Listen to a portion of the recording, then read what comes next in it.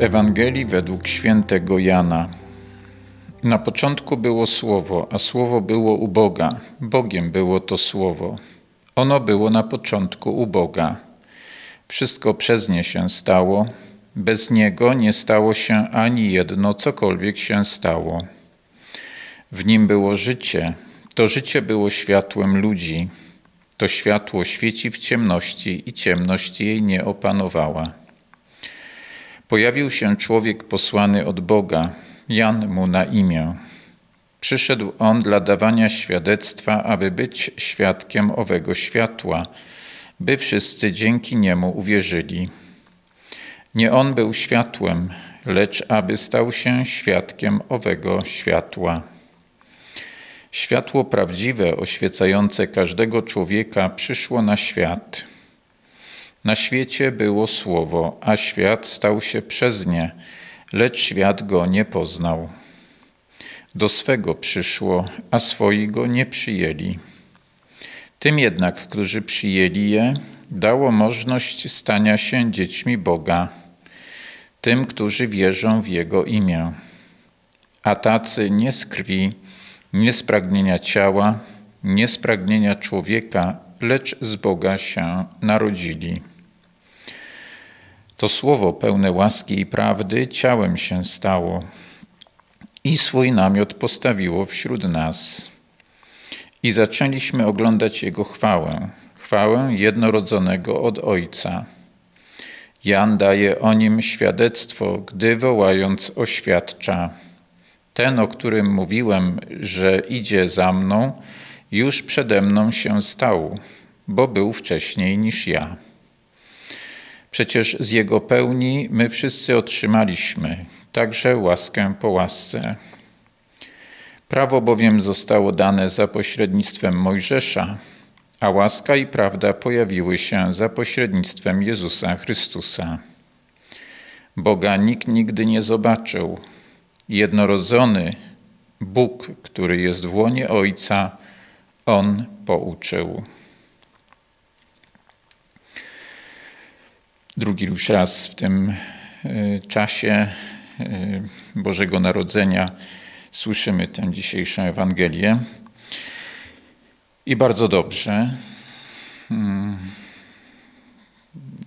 w tej Ewangelii jest tak wiele treści, że trudno mm, jakoś ją nie wiem, ogarnąć, czy w każdym razie dostrzec nawet przy jednej lekturze, przy jednorazowym wczytaniu się w ten tekst. To, co y, dziś przykuło moją uwagę w tym tekście, to jest y, takie de facto wezwanie do tego, żebym narodził się z Boga. Żebym nie był narodzony tylko z krwi, z pragnienia ciała, nie tylko z pragnienia człowieka, lecz z Boga. Oczywiście to się nie wyklucza. To bycie mm, narodzonym z pragnienia człowieka nie wyklucza się z narodzeniem się z Boga. Chodzi o to, aby w naszym życiu pojawiła się e, nowa jakość. Pojawiło się coś, czego rodzice nie są w stanie nam dać, nie byli w stanie nam dać. Mm, co znaczy narodzić się z Boga? Myślę, że to jest przede wszystkim odkryć swoją tożsamość, która nie jest tak naprawdę tylko ludzką tożsamością. Właśnie my siebie bardzo jakoś redukujemy, umniejszamy mm, zupełnie niepotrzebnie, jeżeli uważamy, że jesteśmy tylko ludźmi, po prostu mm, jakąś istotą biologiczną, stojącą gdzieś na samym szczycie ewolucyjnej drabiny, no, to, to jest jakaś redukcja. Jesteśmy kimś dużo więcej. Bez y, oczywiście odniesienia do Boga, bez, y, moim zdaniem, bez poznania Pana Jezusa konkretnie, y, nie da się odkryć właśnie tej naszej nadprzyrodzonej tożsamości, tak, bo oprócz tej przyrodzonej, czyli biologicznej tożsamości, mamy też tożsamość nadprzyrodzoną. I dla mnie o tym jest właśnie ta dzisiejsza Ewangelia i te słowa o tym, że y, ważne jest, że potrzebne jest, abym się narodził z Boga. Żebym się narodził z Boga. Co to znaczy narodzić się z Boga? Y, oprócz odkrycia tej swojej de facto boskiej tożsamości, no bo jeżeli narodzenie się z Boga jest równoznaczne z y, odkryciem i przyjęciem tego, że jestem dzieckiem Boga, no to znaczy, że mm, mam boską de facto tożsamość. Tak, tak jak mawiał święty Augustyn i inni też ojcowie Kościoła, Bóg stał się człowiekiem, aby człowiek stał się Bogiem. Ale narodzić się na nowo, narodzić się z Boga, mm, to jest coś jeszcze więcej. To jest yy, żyć relacją z Bogiem. Yy, bo bycie yy, dzieckiem Boga to nie jest tylko coś, co jest zapisane nazwijmy to, y, w jakiejś metryce urodzenia.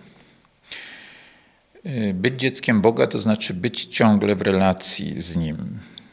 Właśnie każdy z nas, y, będąc dorosłym, przestaje być już takim właśnie dzieckiem, czyli kimś pod opieką swoich rodziców. Natomiast gdy chodzi o relację z Bogiem, cały czas jesteśmy właśnie w takiej relacji nigdy tak naprawdę nie stajemy się dorośli. E, myślę, że jeżeli kogoś to martwi, to, to myślę, że zupełnie niepotrzebnie, bo, mm, bo właśnie nie ma nic złego w tym byciu dzieckiem, ale właśnie dzieckiem Boga. Czyli być, chodzi o to, by być w relacji takiej właśnie dziecko, ojciec, dziecko, matka, Y, w relacji z Bogiem. Y, to jest bardzo ważne, tak. Pamiętając, że Bóg jest nie tylko ojcem, ale również matką. Tak, Bóg jest również matką. Myślę, że to, że Pan Jezus, ucząc apostołów modlitwy, powiedział: Módlcie się, Ojcze nasz, który jesteś w niebie. Użył tego słowa ojcze, bo w tamtej kulturze y, no jakoś to, to bardziej wypadało, to znaczy jakoś tak bardziej to przemawiało do wyobraźni tamtejszych ludzi, że Boga nazywamy Ojcem, a nie Matką. Niestety w tamtych czasach y, mężczyźni i kobiety nie byli, nie byli traktowani porówno i mm, w związku z tym też no, jakby ważniejsze było to, że ktoś ma ojca i kim jest ten ojciec, niż to, że e, ma matkę i, i e, no i kto tą matką jest. Jakkolwiek dzisiaj to może wydawać się być absurdalne, ale wtedy po prostu tak, tak było. Mm. Mm, no w każdym razie mm, takie jest też nauczanie Kościoła, jest taka piękna katecheza papieża świętego Jana Pawła II o właśnie o tym, że Bóg jest i ojcem, i matką. I że już w Starym Testamencie, on tam podaje przykłady, że już w Starym Testamencie Bóg jest opisywany jako matka, która przytula na przykład nie, swoje dziecko, która nigdy nie zostawi swojego dziecka, właśnie, że wszyscy zostawią, ale nie matka, czyli Bóg. Y, tak więc y, jakby o to chodzi, żebyśmy, żebyśmy to po prostu uczynili czymś realnym. Żebyśmy realnie żyli tą prawdą, że jesteśmy dziećmi Boga. Tak, ja odczytuję te dzisiejsze słowa jako zaproszenie do tego, żebym jeszcze bardziej realnie tym żył. Moim ojcem, moją matką jest Bóg. Bóg, tak. Moim bratem jest Jezus Chrystus, Syn Boży. absolutnie, właśnie, żebym tym żył realnie, nie, nie hipotetycznie, nie w taki sposób, że kiedyś dopiero tego doświadczę. Nie, ja tego, tego doświadczam już. A skoro Bóg jest właśnie ojcem i matką, to znaczy, że od Niego pochodzi moje życie. Tak jak zresztą tu jest też powiedziane, nie? że wszystko przez nie się stało. Nie? To znaczy, każde życie, każde istnienie pochodzi, pochodzi od Boga. Każde istnienie pochodzi od Boga. Y, I chodzi o to, żebym o tym pamiętał, że mm, życie pochodzi od Boga i żebym też do Boga szedł po życie. Owszem, y, jak najbardziej y, dobrą rzeczą jest chodzić też nie, do braci, sióstr, do innych, ale przede wszystkim do Boga. On jest tym, który mi daje. Czasem wprost, bezpośrednio, czasem posługując się kimś, za czyimś pośrednictwem. Czasem daje już, natychmiast, czasem daje po jakimś czasie. On wie najlepiej, kiedy, co mi dać, ale On zaspokaja moje potrzeby. Chcę, żeby On był tym, który zaspokaja moje potrzeby. Czy mówiąc inaczej, e, Boże Narodzenie nie jest tylko o tym, że Bóg się narodził hmm, i zamieszkał wśród nas. Nie, tu chodzi również o to, żebym ja się narodził, żebyś Ty się narodził, narodziła hmm, jako dziecko Boga. Właśnie jako dziecko Boga. E, I żeby to się przekładało na na jakiś konkret, na relacje z Bogiem, na zaufanie, ufność. Yy, niedawno usłyszałem w podcaście mm, Daniela Wojdy na Pogłębiarce w rozmowie yy, z księdzem Malińskim, yy, Mirosławem Malińskim, jeśli dobrze pamiętam imię.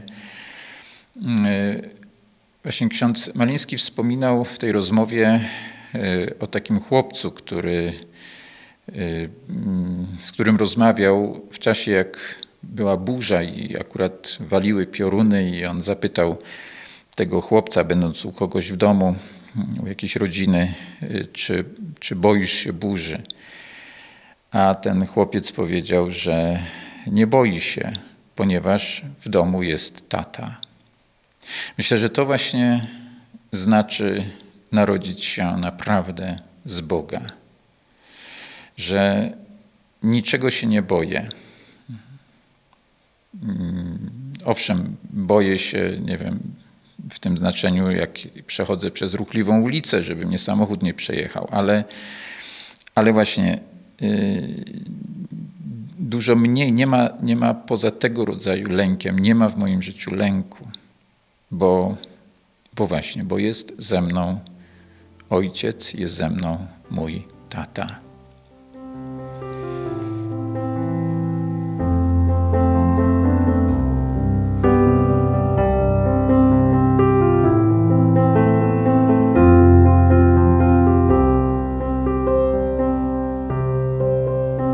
Po więcej materiałów zapraszam na mój kanał YouTube'owy Akademia Szczęśliwego Życia.